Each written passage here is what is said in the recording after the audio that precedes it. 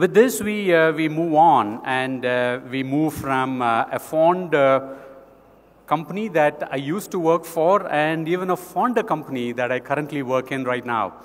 And, uh, you know, we have uh, um, um, Raj Narayan, the CHRO of Titan Industries, who will moderate the session for us. And as I invite Raj in, please come on in, Raj.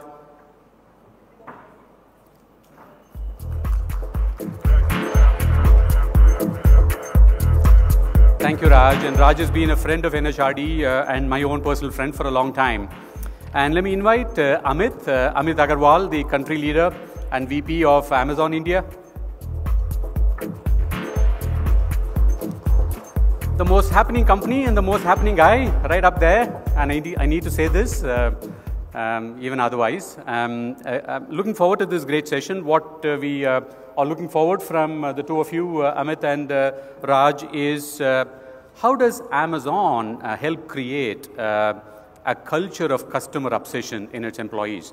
We have heard of Amazon, we have heard of the, the culture of customer obsession, we have heard of a lot of stories, anecdotes, and we also keep, uh, you know, viewing the videos. Uh, the Amazon Go video has probably been seen by more people in India than in the US. Uh, that said, you know, the, uh, the session today is uh, about uh, how we uh, create that. Um, and what we have also requested, Raj, is to uh, kind of have ample time towards the end for questions from all of us sitting in the hall. Up to the two of you. Good morning, everybody. It's important that we have the energy really high.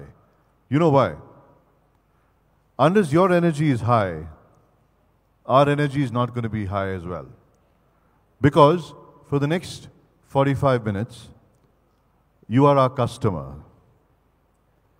Ladies and gentlemen, the next 45 minutes, uh, we're going to talk about customer obsession and how do we make sure as organizations that customer obsession becomes a way of life? And how does an organization convert its strategy into practice? I'd like to take you back um 30 years, 32 years. If you look at anything which is magical, what's the first thing that comes to your mind? When you think of magic, what first, what's the first thing that comes to your mind?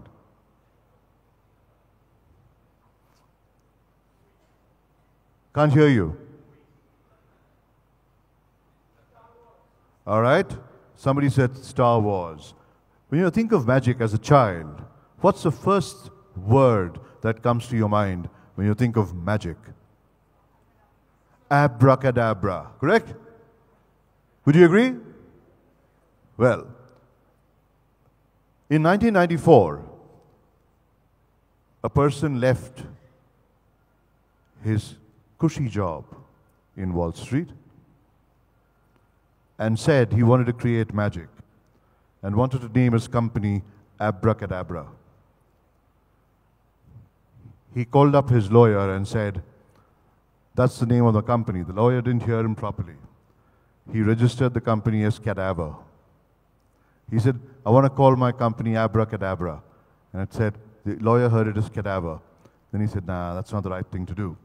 So then he changed the name of the company and he called it Relentless.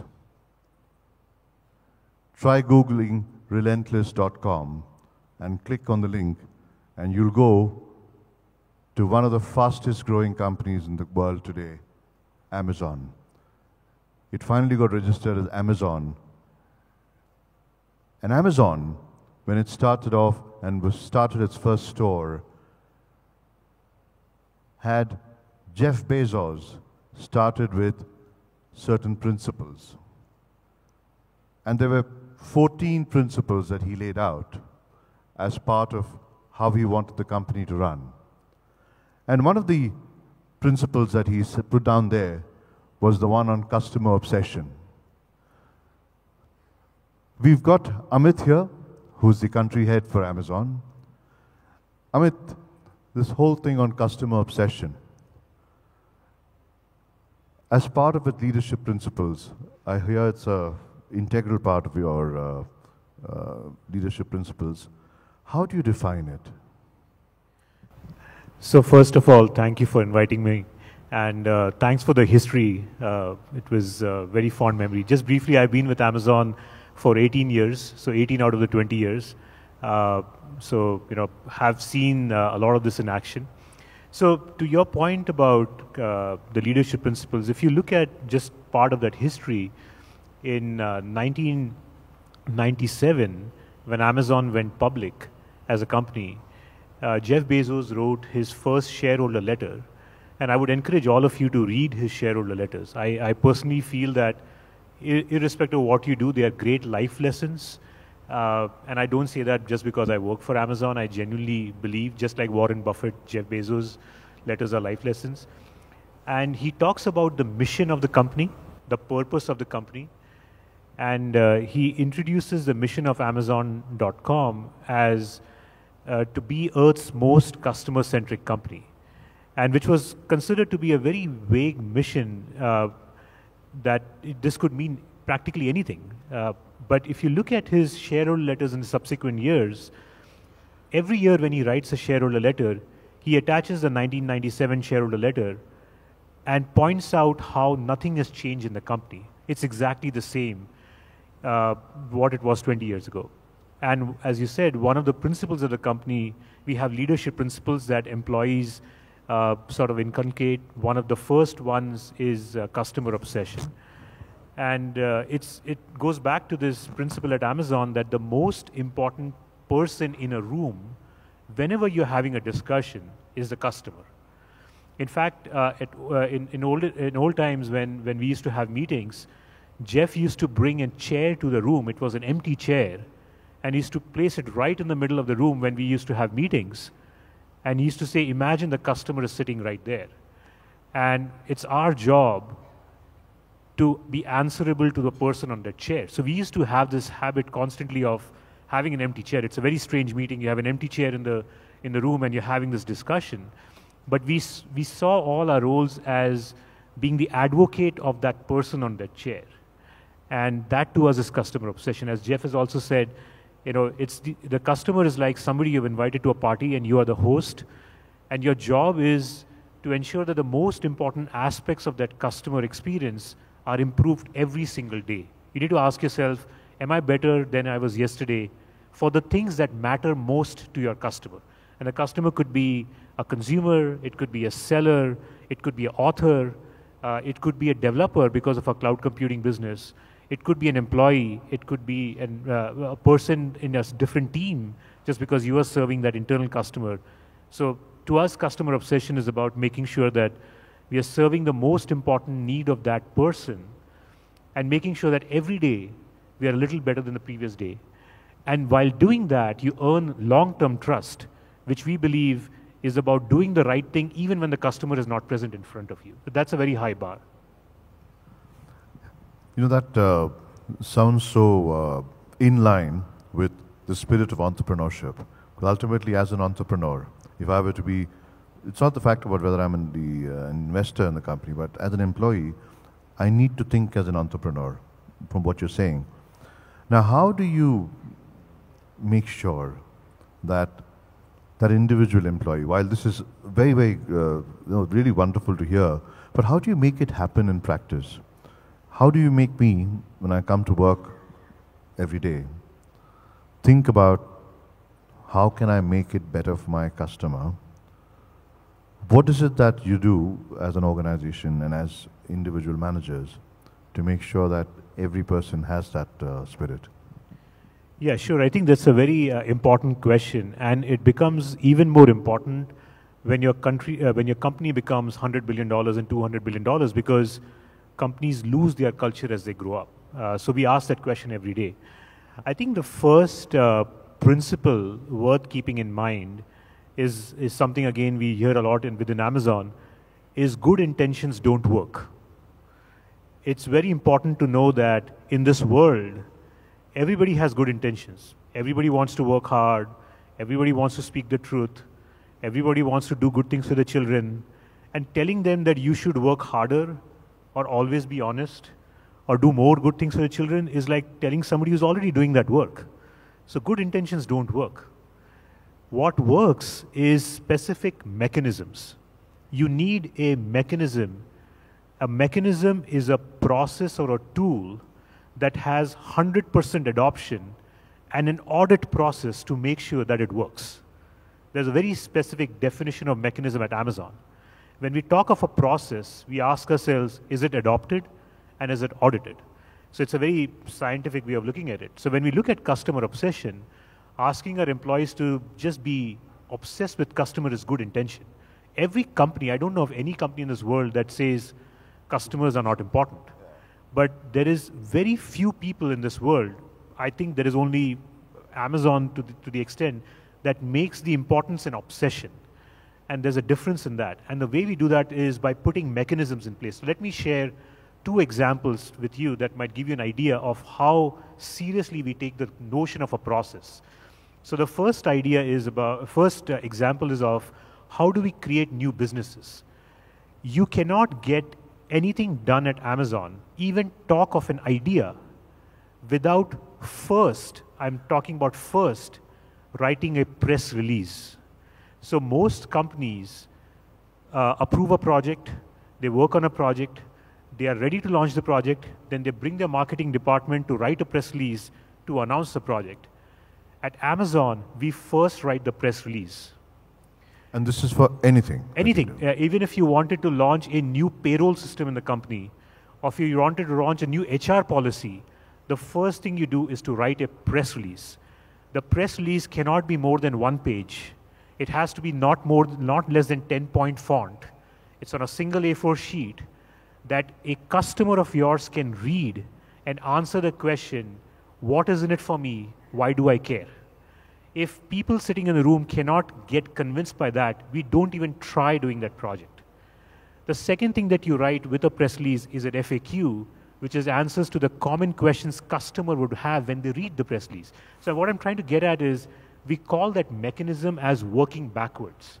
We start with the press release, then we start with the FAQ, then we start with the mock-ups, then we start developing it, and the PR team or the marketing team just takes the first press release and announces it. We don't write a press. So that's one example. Uh, if I can just stay with that example yeah. for a minute. Uh, I mean, that's in some ways when you, it sounds so simple, but it's astonishing that if I'm going to write a press release, that is the outcome of how will my uh, proposal be accepted and what will it look like five years from now or whenever. So obviously you're saying that the whole ownership of it increases for whatever I'm going to say and whatever I'm going to do. Now, while that is good for a new proposal, how does it work for me as a person who's serving a customer? So I may not have a proposal, right? So how does this practice work for a person who's serving the customer? Just to understand that, you know. So you mean somebody who's on the field, for example? Yeah, on the field, yeah. Yeah. So uh, you know what I'm trying to say is you look for mechanisms like these to inculcate, and I think cultures are self-reinforcing. So the everyday behavior matters a lot. So if I do this mechanism every single day, whenever somebody is talking of an idea, then it becomes natural in the organization. And there are many such processes. It's not the only process. Let me take a extreme. Let's let's look at a customer service representative uh, you know, how would that person showcase customer obsession?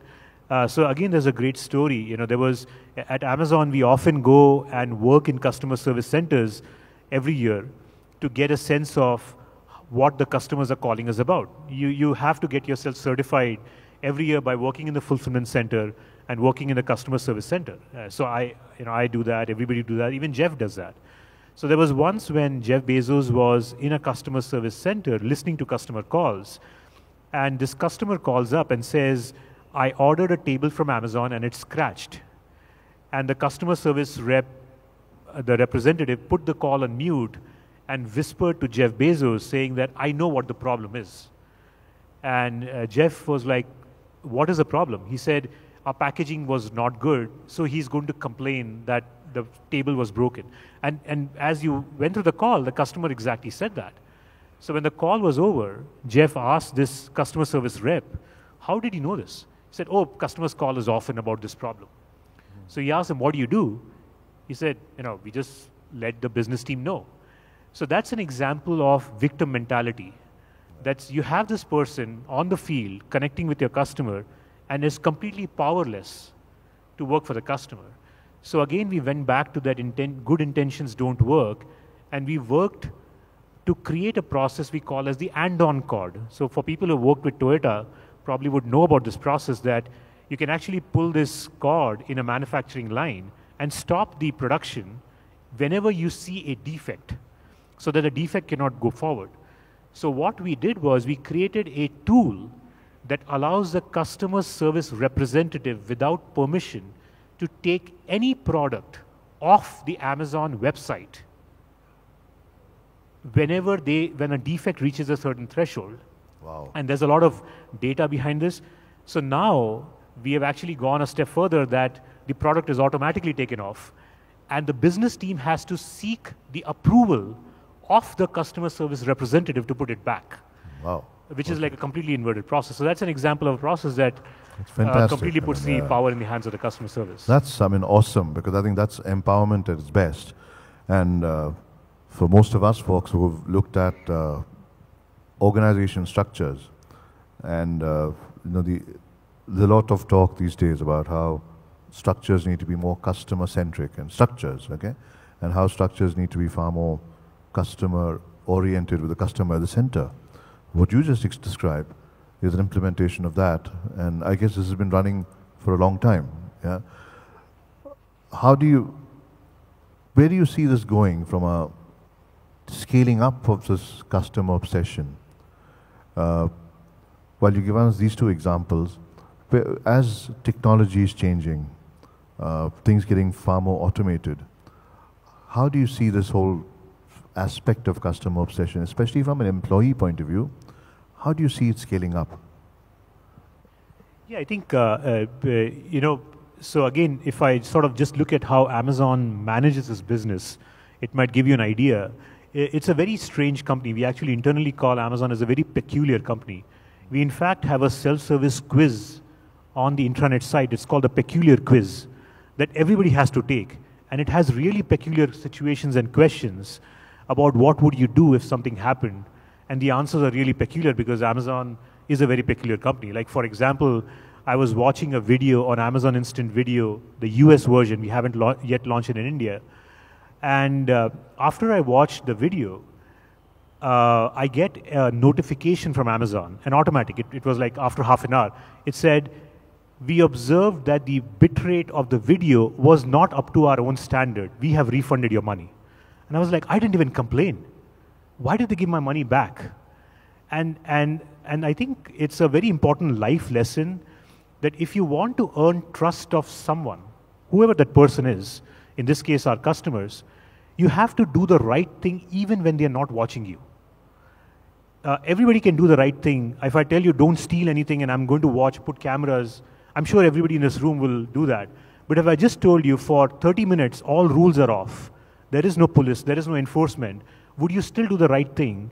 That's where trust gets built up. And I think at Amazon, we look for a lot of such automated opportunities to do the right thing of, for customers, even when no one is watching you. We don't build our processes and software for the 1% of customers that would abuse us. We build it for the 99% of customers that would love us. And then we deal with the 1% of abusers separately. So that's kind of a very different way of uh, thinking about the whole thing. And Amazon India does exactly the same thing in India. Right. Uh, before we move on to the next set of questions, I mean, I'm sure we have some customers of Amazon here. Are there any customers of Amazon here? Anybody who buys from Amazon? Thank you very Oh. much. And for folks who don't buy, please let me know if you have any feedback for us. So we're happy to learn from you. And even the folks that we buy, please send me an email if there are things that I could do better. Now, from the, all of you who, uh, I can hear, or we can hear one or two stories of you've been amazed by the customer obsession, or how you've been impacted positively or otherwise by the customer obsession of the Amazon company as a whole, as well as the people who work there. Anybody would like to share a story? Okay.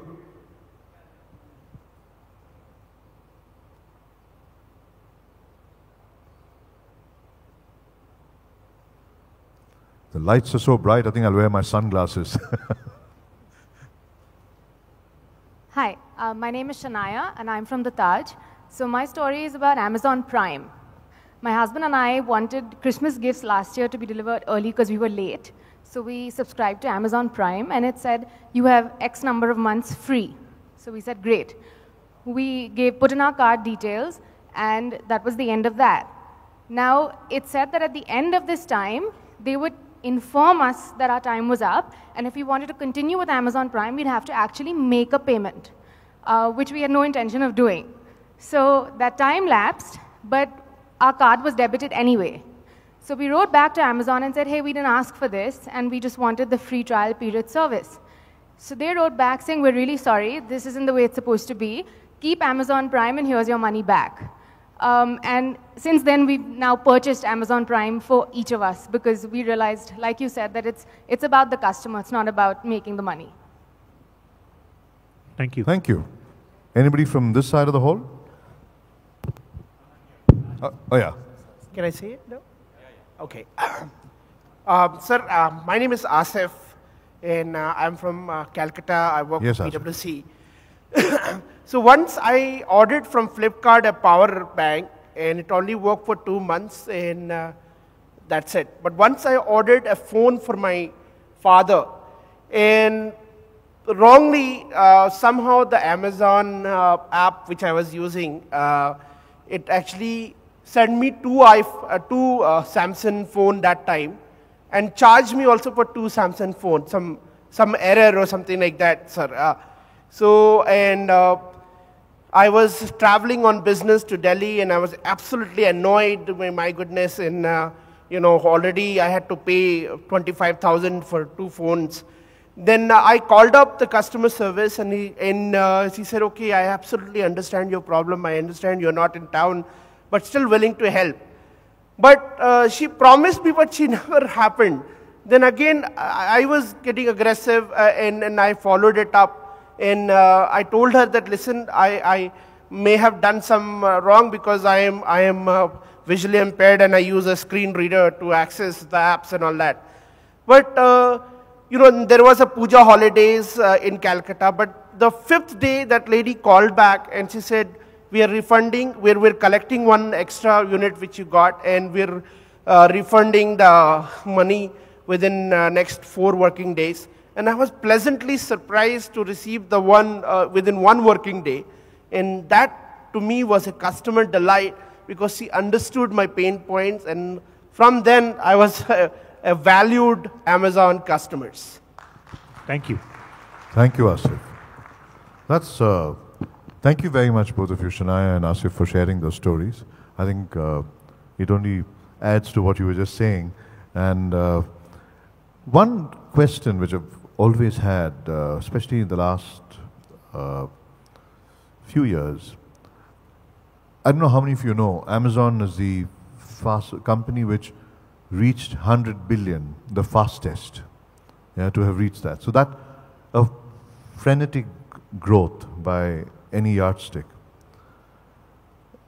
Now, with something like customer obsession, which, uh, while, like you said, remains an intention at uh, as strategy, for it to pan out in action as you're expanding that frenetically, and there's all that chaos and cacophony of uh, growth and getting into multiple countries and all of that, how do you still manage and ensure that with the hordes of new people coming in and uh, the complexities of uh, that frenetic growth, uh, how do you still manage to ensure that customer obsession remains at the center?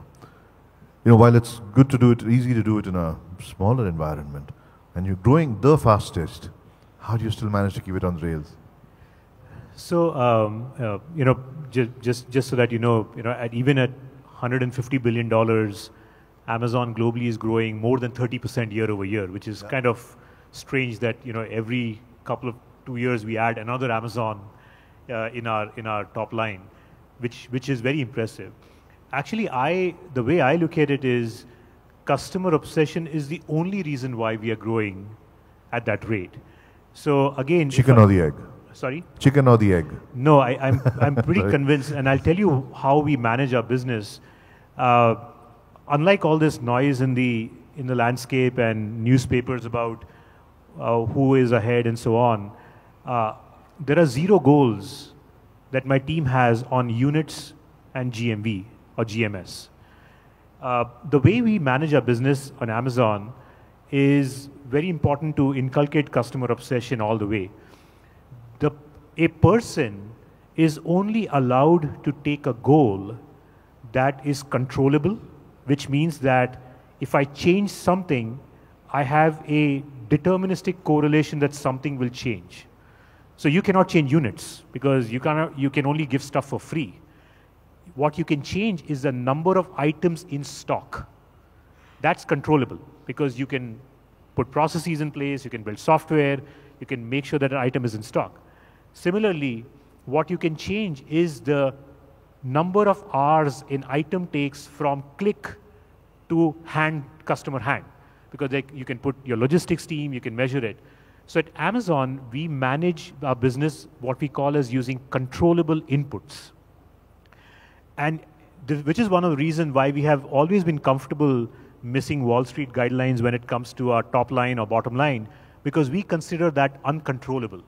We cannot predict what our top line or bottom line would be. All we can predict is how much selection are we going to add, how are we going to make it price competitive, and how fast can I deliver. So when you run a $150 billion business or when you run a one rupee business, all you have is the same three sets of goals. So last 18 years, nothing has changed. All we measure is just three th- things. And that simplifies your organization so much. In India, you could have, I don't know, your mobile might be a, uh, you know, fashion in one, one year and some other year it might be wallet and some other year might be something else. But for the next hundred years, humans are not going to say, I want less selection.